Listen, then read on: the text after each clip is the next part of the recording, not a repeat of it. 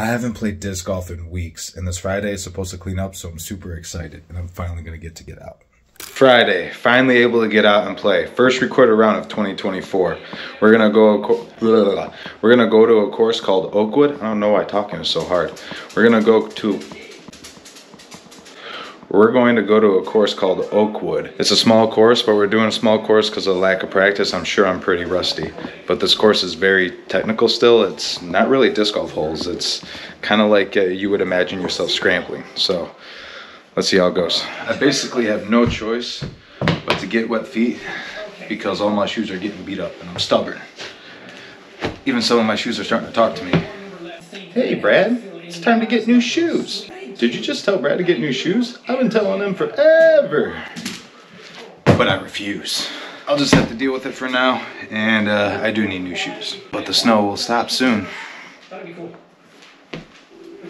Alright, here we are at Oakwood, and the snow was this deep, and it's seemingly this deep, which means I'm probably wrong. The reason it melted so quickly too is because it was two days of uh, rain, which is now persisting into my schedule. So should be a pretty fun day. Hole one is 320 feet. It was designed as a two shot hole originally, but then he opened up this gap and it's still very forgiving. So a lot of people just go down that fairway now. I should disc up because of the snow, but I'm not and I'm gonna use a buzz. Oh, that's far with the snow.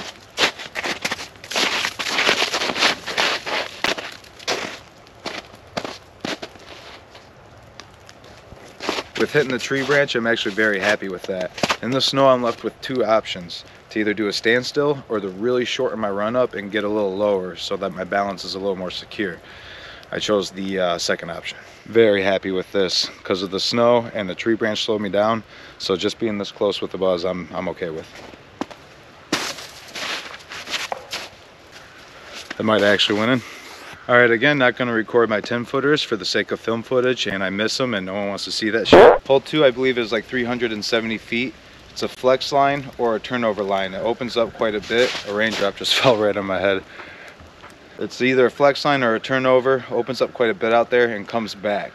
But this is the only dirt pad at the course and it goes uphill. So the line is actually quite hard to hit just because of the footing. And it's ice and snow. Going with an octane.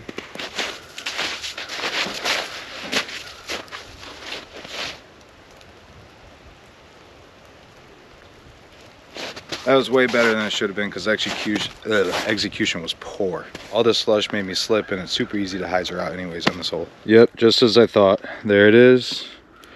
And there's the basket over there. So I'm gonna go for this little Hero forehand anhyzer. I don't know how I'm gonna record it for you guys. Just gonna put it here, I guess. All right, hopefully, hopefully you can see it roll in. If it, if it even does that. Well, I don't even know if I have this shot actually. Yeah, I have to go a different gap.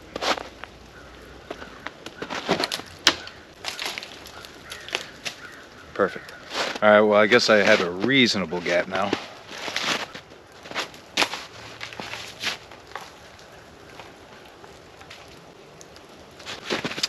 Well, I knew I said it'd be rusty, but you hate to see it. In all honesty, though, the gaps I had to hit weren't really gaps, so it, it was just up to prayer anyways. Maybe we can save it. Good run. All right, first hole of Oakwood. This is definitely not hole three at 285 feet, and it's definitely not a hyzer line that puts you at circle's edge or circle two for a finish. Uh, normally I use a T-Bird here, but I'm gonna use uh, Octane. This is a little flippier, a little faster, and it looks like with all this ice, I'm gonna have to do a standstill. Oh, that was perfect. I guess not perfect. But I was literally gonna park. All right, that really screwed a park job, but it should be an easy par anyways. Right behind that hill. Should be good.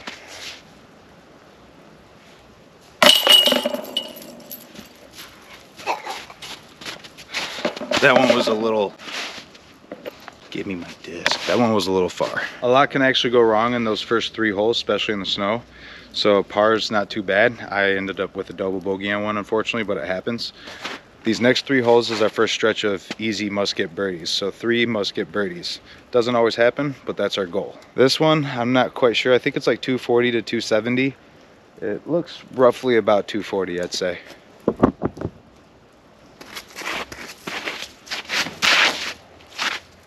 That's gonna go way right. Not good. It's real hard with, really? I guess I can try, I guess, because when I turned away, my camera fell backwards.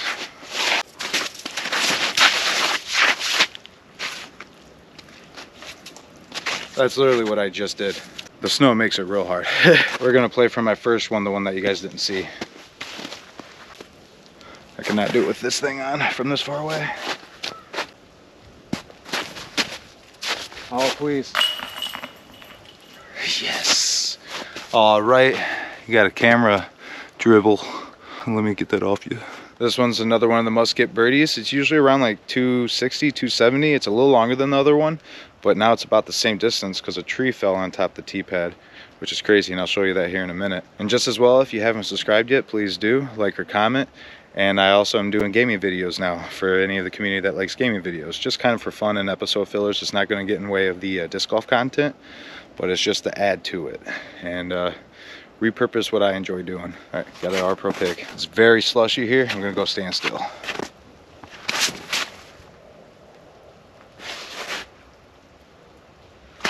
That was super short. I think I'm circle's edge or outside circle one. Yeah, there's the uh, T sign. I played right from here. This must have just happened. Looks like I got a straddle. Nope, gonna go to the other side. Get in there. Oh, thank you. I was feeling pretty good about that 80 footer I made last time, so. This one you can't really see, but it's just a hyzer finish. It's another must get birdie, but it's one of the more difficult ones, or it is the more difficult of the three. I'm gonna go with the glow pig because with this uh, slippery stuff, I've been having to get a little more upright, causing me to go flatter and turn things over. So hopefully this extra stability helps out. Looks like I gotta do another standstill as well. Maybe I should go my regular pig.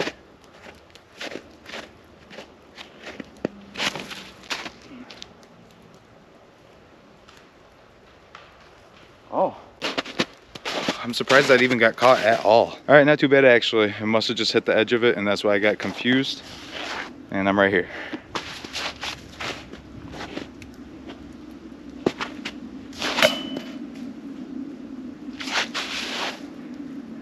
Why does it get harder and more intimidating as it gets shorter when you make putts? Even though I was pretty confident there. All right, hole seven, just under 300 feet, I'm pretty sure. I'm gonna have to put the distances here for you. I thought they had the distances here, I guess not. But I'm guessing right around 280. It's a forehander. There's also a backhand shot, and if you land left, you're actually around circles as you're 40 feet looking at it. So a lot of people do like that backhand route. But the forehand route is definitely the shot here. I haven't thrown a forehand in a minute, and I lost my go-to forehand disc, so shouldn't be good, shouldn't be great. We'll see. My first time throwing that disc. It was flippier than I thought it would be. I forced it over a little too much though, so it's a good thing. Not what I was looking for, but it was my first time throwing the disc and I actually like the stability of it, so it's a good thing. One thing that's been a struggle, my camera keeps dying at 60% or 60 something percent right now. I don't know if it's because I just figured out how to put it into 4K resolution, and maybe that's the reason why, or if it's because it's cold weather. But right now it's at 60% and it keeps dying on me, saying low battery. Oh, no way. So close. This one's 250 feet. It's a really touchy forehand. Or you could do a real big spike forehand. With the snow, I don't have that power or that shot today. And with the new disc, I don't really have the touch forehand either. But there is a hanging basket on this hole that is really cool, and we'll see that in a minute. Short story about this hole, there's always players that come up here and they're like, oh, there's a backhand hyzer route. And then they throw their disc over there, and most of the time it doesn't work, and they get like a six or something. You know who you are if you're one of those players.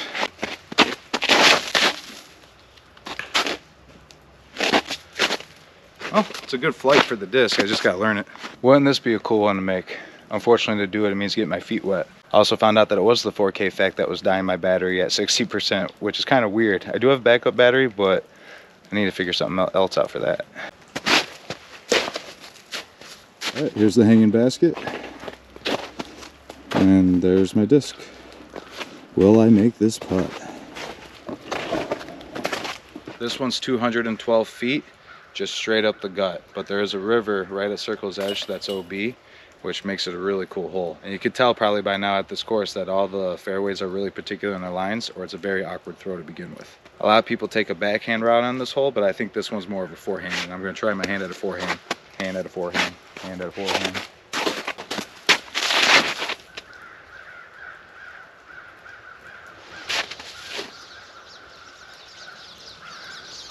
See ya. I don't know if I scared those birds or not. I'm pretty sure I threw short into the river. Thank you. It's right there. Not that I would have lost it. I just didn't really want the stroke today. Hole 10 is like the epitome of what I'm talking about with uh, weird, awkward lines. 158 feet is all it is. But it's like 100 feet that way. And then it's just 60 feet just straight to the left. And the basket's like, I don't know if you can see it. Right there. Weird. So obviously this hole was designed to do that and that. But even the course designer goes up the gut of that little area just to hopefully get through. The problem with that is there's a river on the left, which puts it into danger. But I mean, if you want the birdie,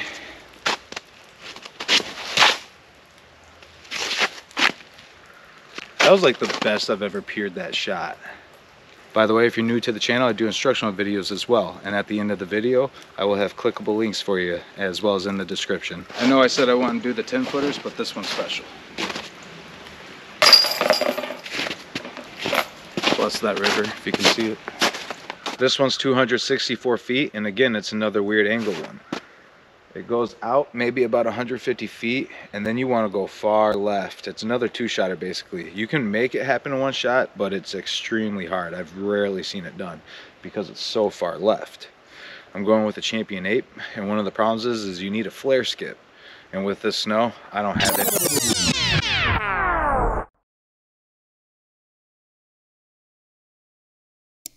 My camera just died on me again. I'm just gonna throw this.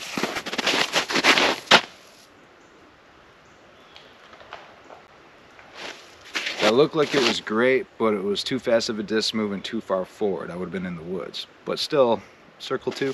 Not a bad position to be, but I don't really have a putt with this tree right in my way. I did do a slight anti-putt. I don't mind those though. Alright, that wasn't bad. Look at this beautiful, beautiful basket in green.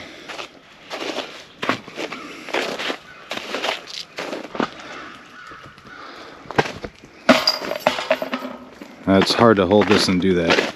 But this is a nice green. Alright, unfortunately my GoPro keeps dying at like 30 something percent, so I may not be able to finish this video. So just in case, thank you for watching and see you guys later.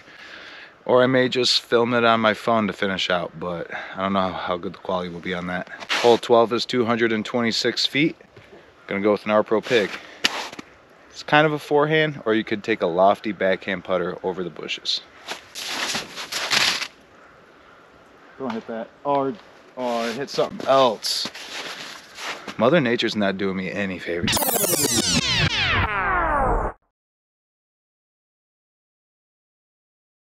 In all honesty, that shot was pretty peered, and I'm a little upset about it. But my camera died on me again, so I'm just gonna let you guys go. And I, I, think I got enough practice. 12 holes is enough. You'll be able to see this course again in the future. I will do a whole record around here. I'm just gonna be a little better prepared. And I will be putting, instead of front nine, back nine, it'll just be whole recorded rounds. All right, see you guys later. Thank you for watching. So this is the path I'm supposed to go to get back. I don't know if ice or the winter did this or if they just haven't been maintaining it. It looks like it's been lack of maintenance. I'm stranded here. I guess I'll disc golf forever. Are you kidding me? What the? I just got on the other side of that other, other patch. And I'm tired. What is going on? This is crazy. This is this from a bunch of heavy ice? What? Well, that was absurd. So the question got brought up, what are my plans for disc golf in the future in this channel? Nobody asked you that. Well, for right now, I'm just making content and coaching. I'm not really doing anything with tournaments or anything. I don't have the money or the energy or the time anymore. But I do plan on making some changes to where I can get back out there. And hopefully, you'll see me back out there in a couple years. All right. Thank you guys. See ya. Did I ask you to record yourself disc golfing too?